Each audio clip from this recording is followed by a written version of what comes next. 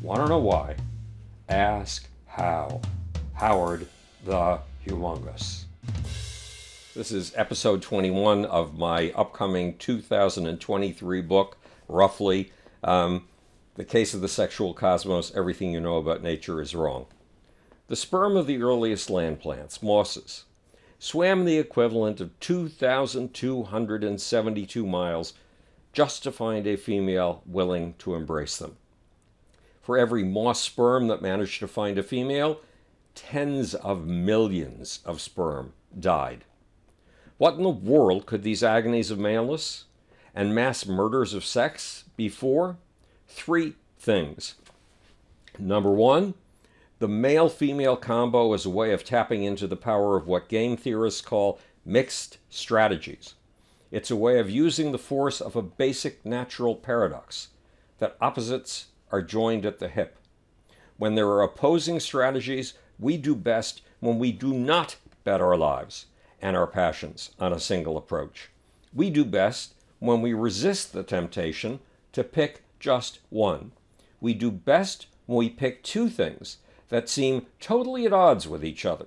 When we pick fire and ice, when we pick day and night, when we pick up and down, when we pick restlessness and caution, when we pick exuberance and fear, when we pick reason and instinct. Opposites are joined at the hip. And there is a power that comes from turning opposites into a team. Well, let's get back to you, the moss, 500,000 years ago. When it comes to multiplying, when it comes to being fruitful and flooding the empty earth with your offspring, one strategy would be to stay in place, to stick with what you know, and to be safe. The opposite would be to take a chance, to roam, to explore, to pioneer, to adventure, to gamble on the unknown, and to ride the tides of the forces around you. But there is a third option. Don't just pick one, pick both.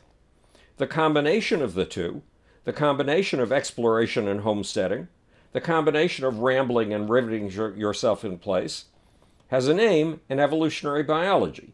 It's called the fission fusion strategy, the reach out, then run back and hug strategy, the explore, then consolidate strategy. And this fission fusion strategy is so widespread in nature and in human affairs that it's shown up in two of my previous books The Genius of the Beast and The God Problem. On the human level, the fission fusion strategy is at the heart of the struggle between ideas and the clash of civilizations. It's at the heart of economics. And guess what?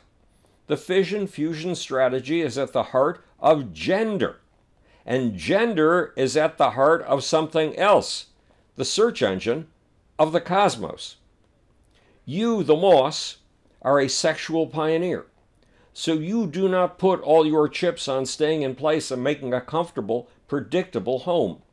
And you do not put all your chips on feeling out distant possibilities. You put your chips on both. You bet on what will turn out to be one of the most enduring and most breakthrough generating forms of teamwork in the evolution of the cosmos. A teamwork between opposing strategies. You bet on the team of male and female. You bet on the sexual team, the team of gender.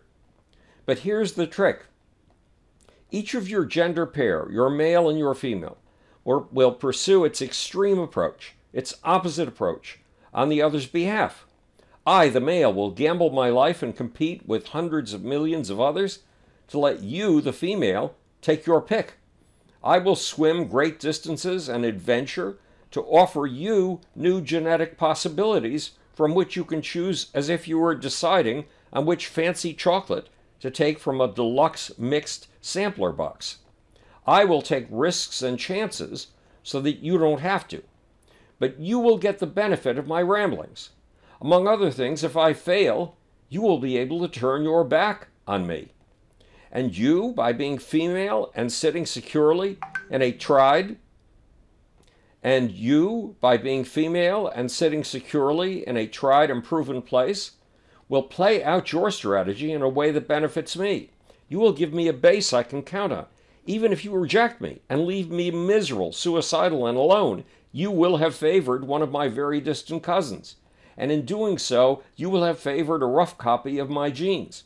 At the very least, you will have advanced the cause of the gene team that perpetuates my species and yours. What does this pairing of opposites achieve? I am a sperm. When crossing over made the one of a kind gene string at my center, it put out an audacious new feeler into the hidden potential of DNA. And crossing over expanded the genetic bounds of possibility in you, the female, too. Put those two experiments together, and you get a new probe into the potential of cells and DNA, an antenna scoping out the hidden possibilities of life.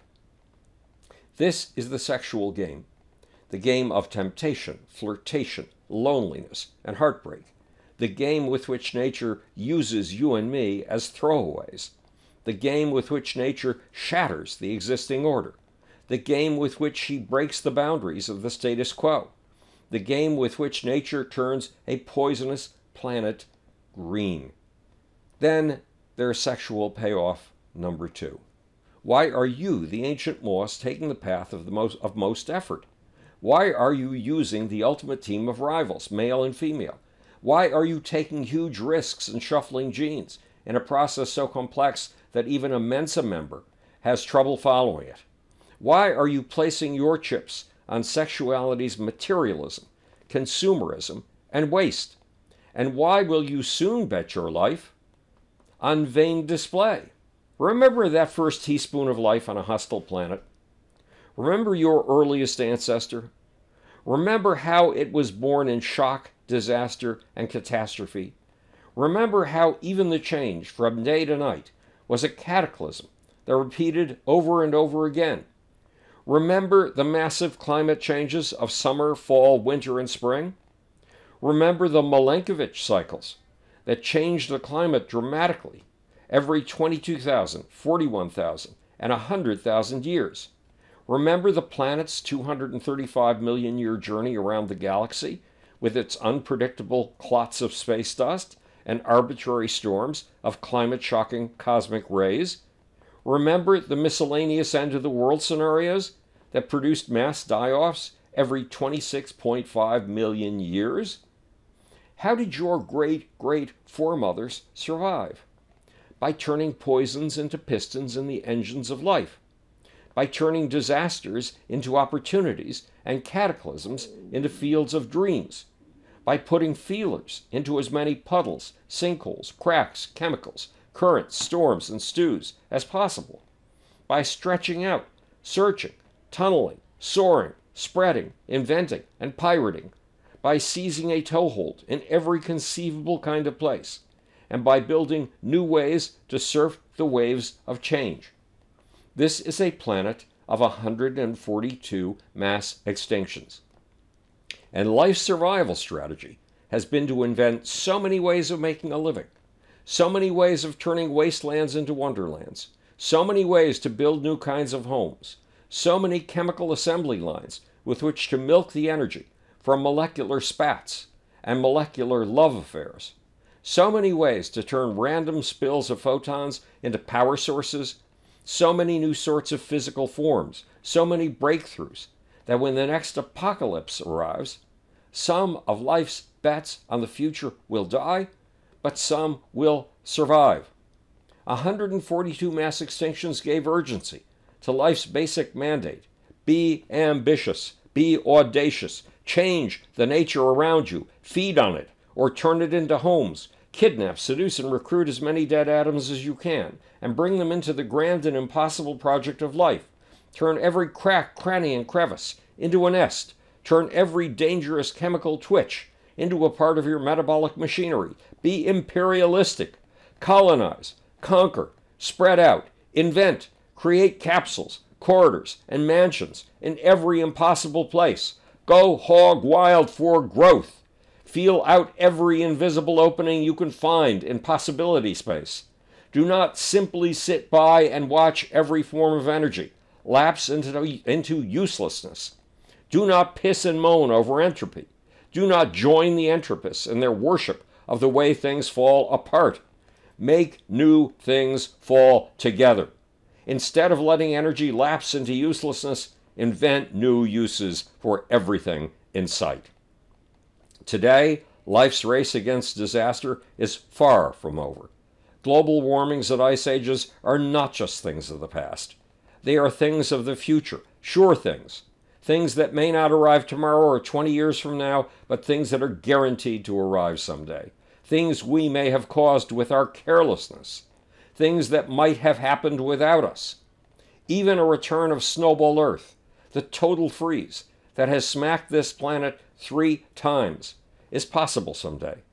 This is a planet of climate catastrophe. Climate change is as certain as the change from day to night. Sex is painful. Sex is wondrous. Sex is expensive. Sex defies the laws of nature.